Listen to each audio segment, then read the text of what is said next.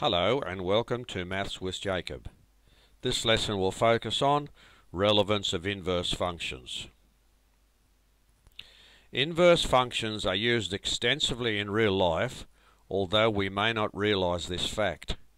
For example, we sometimes convert degrees Celsius to degrees Fahrenheit. The inverse of this conversion is going from degrees Fahrenheit back to degrees Celsius. Whenever you undo something that has been performed initially, you are essentially performing an inverse function. A very simple example occurs when you deposit $100 into your bank account.